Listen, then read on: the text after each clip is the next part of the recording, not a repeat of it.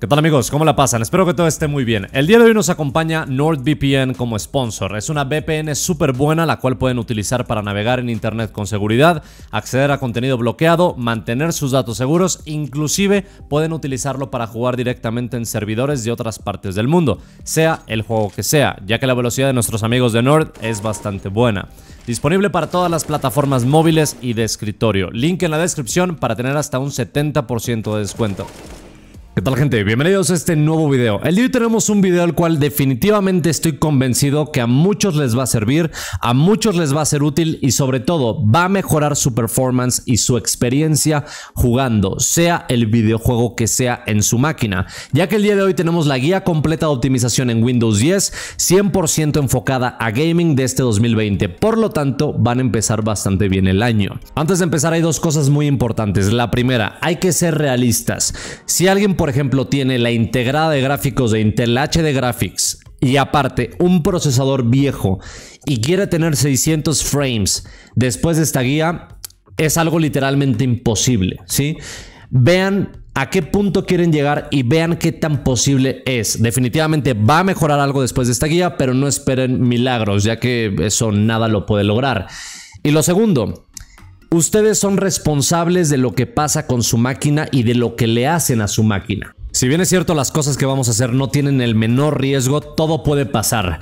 Se puede ir la luz en medio de una configuración, se les puede ir un dedazo, un número, no siguieron los pasos correctamente y se jodió la máquina. Snorux, me jodiste la PC. Son responsables de lo que hacen. Así que vamos a comenzar. Lo primero es actualizar el sistema operativo. Nos vamos aquí a menú inicio, actualización, buscamos actualizaciones con este botón y damos en buscar actualizaciones. ¿Por qué hago esto y por qué hacemos esto? Porque esta guía la estoy haciendo en base a la versión de compilación 1909 de Windows 10, que acaba de salir hace poquito. De hecho, aquí está descargando algo del antivirus, me parece. Pero si ustedes no han bajado esta actualización grande, les va a decir, les falta todo esto y tienen que bajarlo, ¿sí? Así que lo bajan. En este caso ya está todo actualizado y me parece perfecto. Ahora, vamos a crear un punto de restauración. Por el amor de lo más sagrado, crean en lo que crean. Dios, Satán o Skynet. Yo me voy más por la tercera, ¿no? Creen un punto de restauración. Le damos en crear aquí en menú inicio, crean un punto de restauración y nos sale esta ventanita. ¿Por qué vamos a hacer esto?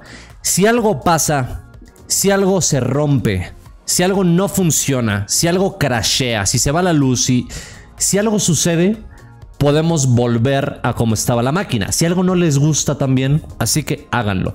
Nos vamos a buscar aquí el disco local. Sé normalmente donde está el sistema. Aquí dice sistema. Y nos vamos a configurar después de cliquearlo. Vamos a dar aquí en activar protección del sistema. Va a estar normalmente aquí me parece. Y aquí vamos a poner un espacio en disco. Yo les recomiendo de 5 a 10 GB. Yo tengo un disco con mucha información y solamente está ocupando 4.67. Así que ponen, no sé, 7 GB por ejemplo, y le dan en aplicar y aceptar, ¿ok? Ahora nos vamos a crear aquí, vamos a poner el nombre del punto de restauración. En este caso sería Snorux Machine, por ejemplo, estable. Por lo tanto, voy a saber que esta es una versión estable o correcta de cuando mi sistema estaba en buen estado, ¿no? Si algo pasa, le damos en crear y como ven, va a empezar a crear. Lo repito, háganlo, por favor. Alguna vez me llegaron comentarios de... Eh, eh, pero, pero se me olvidó hacer el punto de restauración y ahora qué hago? Bye bye baby, háganlo, ¿sí? Perfecto, aceptar. Primero vamos con lo clásico que es un poco más sencillo y después nos metemos en las cosas más complicadas. Vamos a presionar la tecla de Windows más la tecla R para traer esta ventana de ejecutar. Ponemos símbolo de porcentaje que es Shift 5 normalmente, temp símbolo de porcentaje. ¿Sí? Nos va a abrir los temporales, algo ya conocido, pero muy importante. Estoy seguro que muchos de ustedes no limpian esto. Vean, en cuestión de minutos que tengo la máquina prendida, vean cuántos temporales tengo en espacio. 120 megas. Dirán, no, no es nada. Imagínense meses de no limpiar esto. Yo he llegado a tener más de 50 gigas en temporales. En serio les recomiendo que limpien esto, no pasa nada. Clic derecho, eliminar con Shift puesto y le damos que sí. Si ven, hay algunas cosas que no se van a poder eliminar. ¿Por qué? Porque están siendo utilizadas y nada va a pasar. Una vez limpio, cerramos la ventana. Ahora, lo siguiente, vamos a presionar Windows y la tecla E para traer un nuevo buscador y presionamos en este equipo. Esto nos va a dar todos nuestros discos, pero queremos limpiar esos discos. De hecho, normalmente el disco local C, que es el más importante en tema de sistema operativo. Damos clic derecho, propiedades, nos vamos aquí en liberar espacio y seleccionamos limpiar archivos del sistema. Esto va a empezar a cargar pues todas las cosas de actualizaciones, de cosas, no sé, de backups que haya por ahí, de cosas del antivirus. Como ven, quedaron residuos de la actualización 3.23 gigas. A nadie le hace daño limpiar eso, así que pueden limpiarlo, pueden checar. Yo, por ejemplo, en descargas tengo 5.40 gigas. Personalmente no sé qué sea, así que puedo limpiarlo. Dan en aceptar y lo limpian sin ningún tipo de problema. Bien, ahora nos vamos a ir al menú inicio y aquí en configuración. Vamos a empezar a mover cositas. Nos vamos a sistema. Aquí nos vamos a ir a notificaciones. Les recomiendo que todo lo desactiven. Absolutamente todo. No quieren nada que esté procesando una notificación, que les dé stuttering, nada, absolutamente nada. Asistente de concentración después, desactivado al 100%. Almacenamiento. Aquí esta opción yo se la recomiendo para que el propio sistema pues procese lo que quiere, lo que no quiere en tema de archivos temporales y así. Como ven no siempre funciona porque acabamos de limpiar un poco de archivo temporal. Pero si tienen una máquina mediana que puede estar procesando esto sin problemas, actívenlo. Si es una máquina muy mala que saben que cualquier pizca de proceso puede afectar, desactívenlo. Multitareas. Aquí Recomendable desactivar esto de escala de tiempo. A mí me dio frames. Yo creo que está bastante bien. Así que desactívenlo. Nos vamos a inicio nuevamente y nos vamos a juegos. Aquí, barra de juegos desactivada. Esto va muy mal con los juegos en Windows. La verdad que genera muchísimos problemas. Capturas, no puedes mover nada. Modo de juego. Esta es una parte importante. A algunas personas le funciona, a otras no como a mí. Esto me quita frames, pero a otras personas que conozco les da frames. Así que hagan una prueba. Actívenlo, jueguen algún jueguito, algún ratito. Si les da buenos frames, déjenlo. Si se los quita, y ahí míranlo, quítenlo. Así de simple, ¿no? Va muy muy bien. Esto de redes no pueden hacer tampoco nada más. Ahora, privacidad.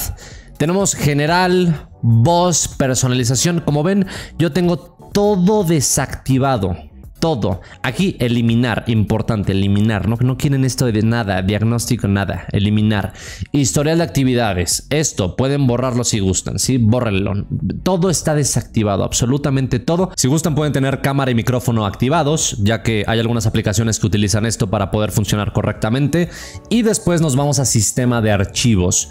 Esto es muy importante. Yo lo desactivé ya que por alguna razón esta cosa me generaba como ciertos freezes o mis juegos se congelaban poquito y eso la verdad es que era bastante molesto. Entonces yo lo desactivé y al parecer va mejor. Ahora vamos a mover unas cosas en el registro del sistema. Por lo tanto, si mueven algo mal, se puede ir todo un poco al diablo, por así decirlo. Pongan atención que no va a pasar absolutamente nada. Windows R para la ventana de ejecutar que ya conocen y ponemos regedit. Damos en aceptar. Van a ir a la descripción del video y van a copiar la dirección del regedit. Una vez copiada, la pegan justo aquí. Dan enter y les va a salir esto. En GPU Priority van a poner 8. Y en Priority van a poner 6. Dan en aceptar en las dos y listo. Por esta parte ya no hay ningún problema. Ahora, nos vamos a regresar aquí como ven. Si yo bajo este menú vamos a encontrar que estamos justamente en Tasks abajo de System Profile. Nos vamos a regresar a System Profile y aquí en System Responsiveness vamos a poner 0.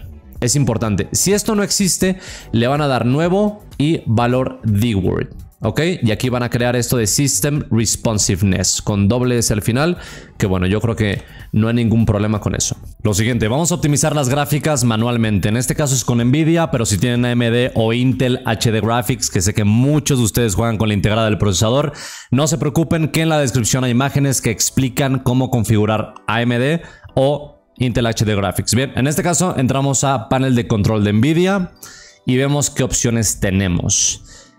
Nos vamos aquí en ajustar la configuración en la primera opción y después utilizar la configuración avanzada de imagen 3D. Ir allá y vamos a empezar a ver las configuraciones globales. En Image Sharpening vamos a poner desactivado, buffer triple desactivado, CUDA vamos a poner todas las tarjetas gráficas, caché de sombreador, aquí vamos a dejarlo activado, DSR no lo necesitamos para nada. Aquí, en calidad de filtrado de texturas, alto rendimiento, esto realmente puede cambiar un poco las cosas, sobre todo si la máquina es media o baja gama, yo creo que puede cambiar bastante. Todo lo demás, permitir activado, activado, controlado. Aquí esto es importante. Fotogramas previamente renderizados. Mucha gente piensa que la mejor opción es uno y no realmente. Si tienen una máquina mala o media, con una tarjeta Nvidia, por supuesto. Yo les recomiendo 3 o 4. Vean cómo les va. Si no, regrésenlo. Pero 3 o 4 debería de mejorar un poco el performance con algo de input lag. Sí, o sea, obviamente hay un costo. Pero tendrán más frames, así que pueden intentarlo.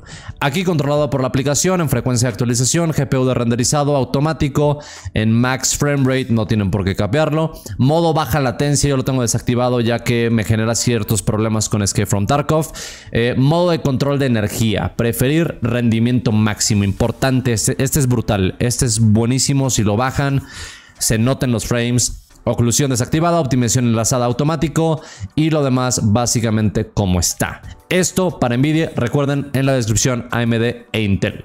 Ahora la parte más complicada, los scripts. Vamos a descargar algunos archivos, así que atención porque también vamos a mover directorios, cositas del sistema. Cosa divertida, ¿no? Nada imposible. Abrimos nuestro navegador preferido. En mi caso es el nuevo Edge Chromium que acaba de sacar Microsoft, que está bastante bien en mi opinión. Y vamos a la descripción. Copiamos el primer enlace que nos lleva a GitHub. ¿Ok?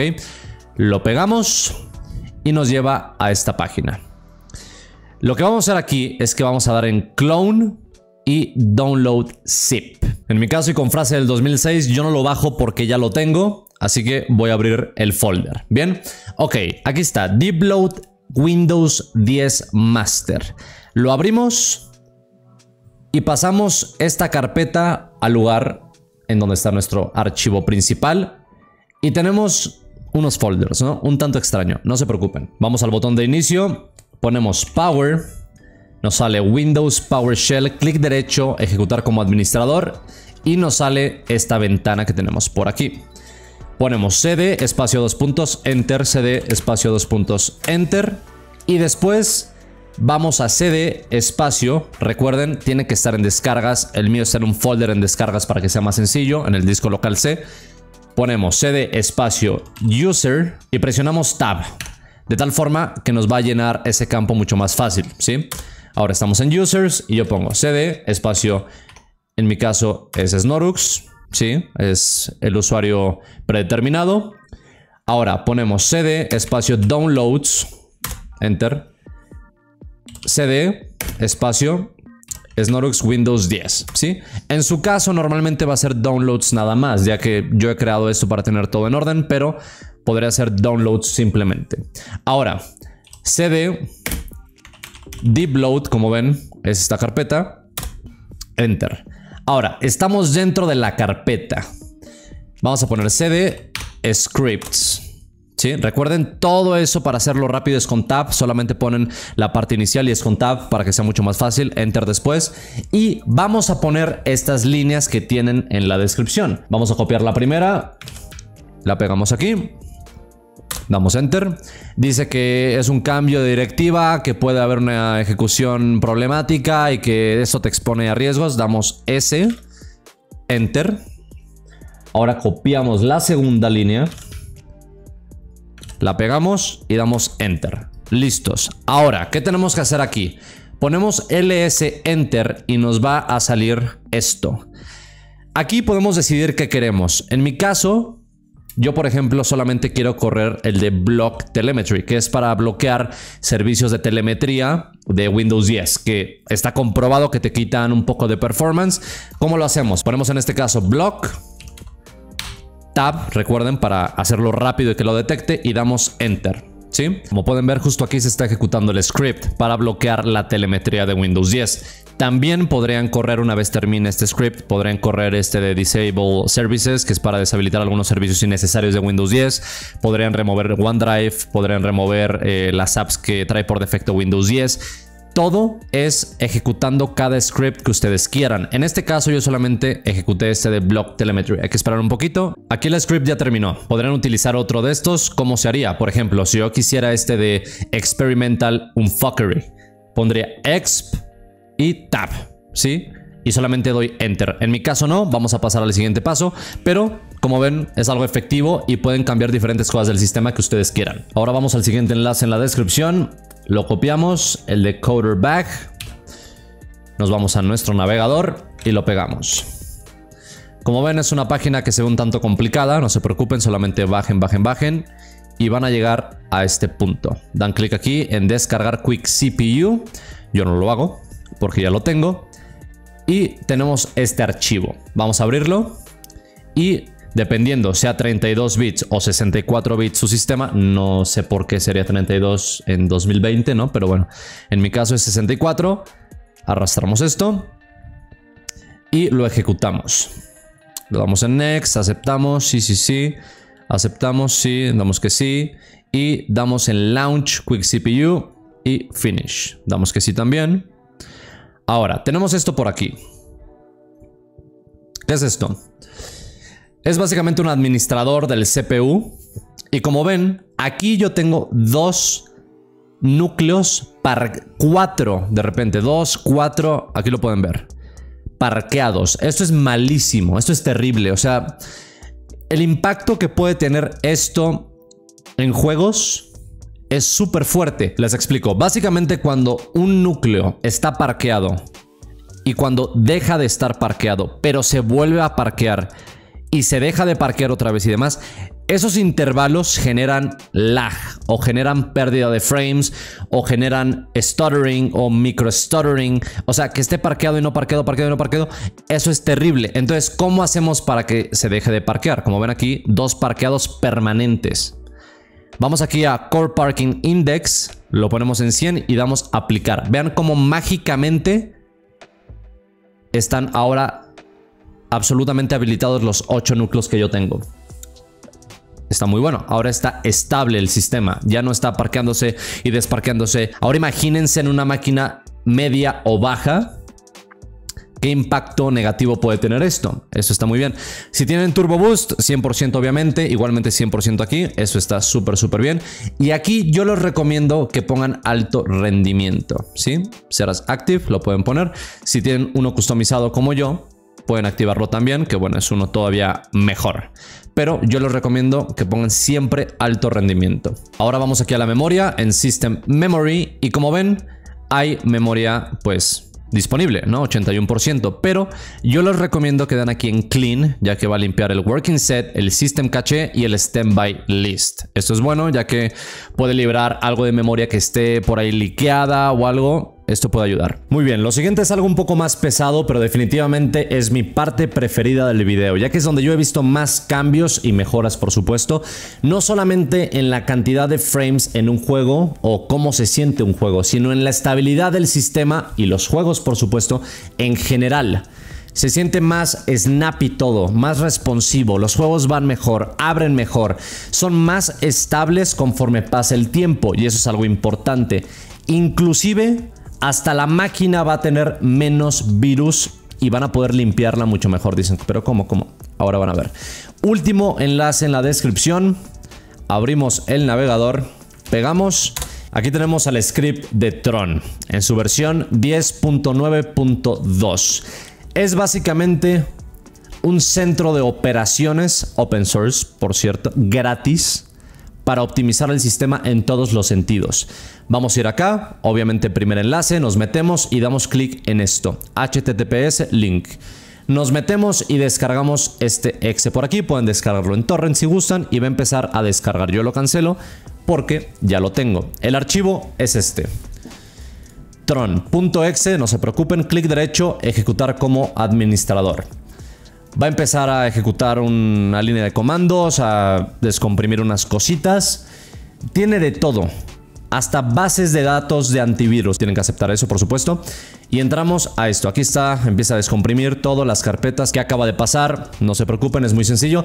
Nos metemos a esta carpeta de Tron Y vamos a tener dos opciones. La primera es la que yo les recomiendo, ya que es una limpieza, optimización brutal que tarda horas.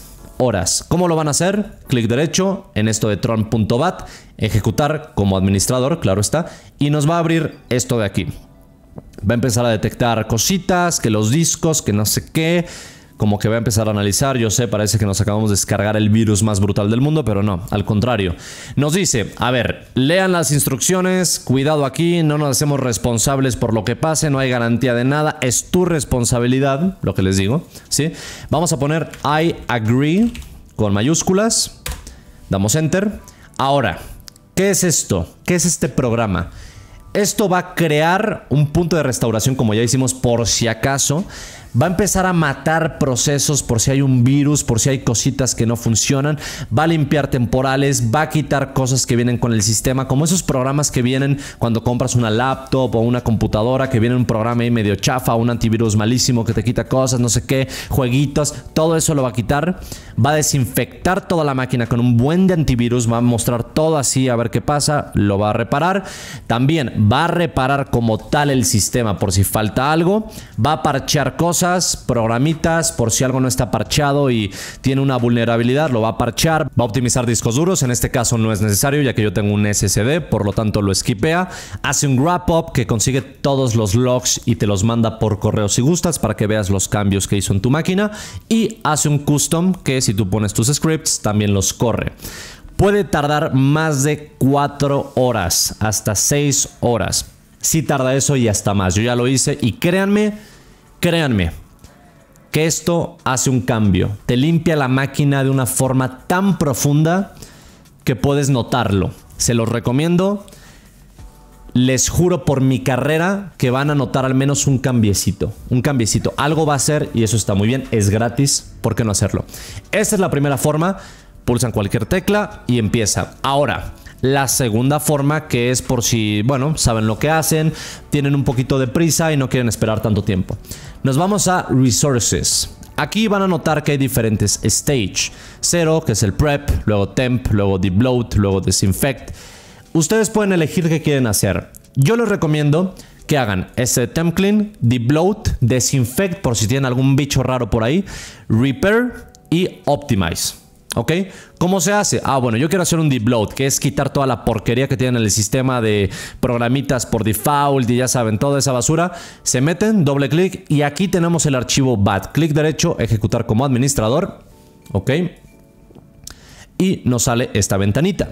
Hay que esperar un poquito ya que como que empieza a leer toda la información, empieza a hacer cositas y va a empezar a funcionar poco a poco. Como pueden ver aquí ya está funcionando, hay que esperar un tiempecito, no es tan rápido tampoco, pero no son 6 horas. Así que pueden decidir qué fases quieren hacer o qué stage y eso ahorra un poquito de tiempo y mejora un montón la máquina. No está nada mal. Espérense, no lo interrumpan y siguen con la siguiente fase o el siguiente stage. Para finalizar, puntos bonus. El tema de los servicios y los programas al inicio es muy importante. A mí me dio cerca de 20 o 30 frames extra el deshabilitar cualquier programita o servicio que decía, bueno, ¿esto qué es al inicio? ¿no? ¿Para qué quiero esto? ¿Cómo se hace? Windows R msconfig. Enter y vemos aquí servicios. Ahora, yo daría en ocultar todos los servicios de Microsoft y ver cuáles son los servicios que yo tengo activados. Como ven aquí este Malwarebytes se acaba de activar por lo de Tron, por cierto. Yo lo desactivaría porque no lo necesito, ya tengo el otro, ¿no? Y aquí también este de overclocking de, de Intel, pues como que ahora no lo necesito. Yo desactivaría todos, absolutamente todos, aplicar y aceptar, sí señor, y reiniciamos puede que algo falle, ¿sí? Que algo no se abra o que un programa conocido no se abra y qué está pasando. Pueden volver, checar que está deshabilitado y activarlo nuevamente, ¿sí? Ahora, lo que sigue tiene un riesgo. ¿Por qué digo esto? Porque en serio es mi responsabilidad decirles que si se pasan, algo pueden joder en su máquina, el procesador sobre todo, se puede joder completamente. Les recomiendo que lo hagan con cuidado, que no se pasen de la raya y todo va a estar bien. Menú inicio, Quick CPU otra vez, ya conocen este programita, aceptar. Y vamos a ver que aquí hay una opción que dice Advanced CPU Settings. Vamos a darle aquí. Y tenemos los cores, ¿no? Esto es posible que algunos puedan hacerlo, otros no, pero bueno, es un bonus. Es un bonus. Yo lo que haría aquí es aumentar número a número, ¿sí? Core por core, uno a uno y probar. En serio, no se les ocurra poner 60 aquí o algo así. ¿Por qué? Porque esto es un mini overclock. Aquí están haciendo un overclock al sistema. No es como se tiene que hacer, de hecho. Si quieren una guía completa de overclock, lo podemos hacer. Ya he hecho overclock, tengo un poco de experiencia en eso y podemos hacerlo. Pero en este caso no están teniendo las configuraciones normales de un overclock. Más voltaje o multiplicadores correctamente. No. Aquí están moviendo por core. Les recomiendo que lo hagan poco a poco. Si está en 48, que en mi caso ya tengo un overclock fuerte, normalmente está en 42, yo lo movería a, a ver, 49 todos, ¿sí? Ok, le doy en aplicar. Si algo falla, regreso al número, reinicio la máquina y todo va a estar bien. Pero en serio, no se les ocurra poner 70 o algo así. Me tocó gente en una guía que yo subí a mi canal que quemaron procesadores. Porque yo les decía, a ver, aquí tenemos 48 y 49. Ponían 80, se los juro, se los juro. Llegó un momento que obviamente la máquina no empezaba, aumentaron los voltajes y quemaron el procesador. O sea, no hagan eso. Sean responsables con su máquina, pueden hacer un pequeño overclock con esto y les va a dar un poquito más de frames. Eso puede que ayude. Yo creo que está bastante, bastante bien. Pues bueno gente, espero les haya gustado este video, espero les ayude sobre todo.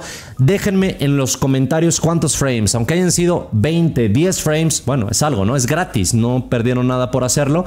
Y esta guía les funcionó. Si fue mucho más o ya tienen, uff, Dios mío, 60 frames más, increíble, está muy bien.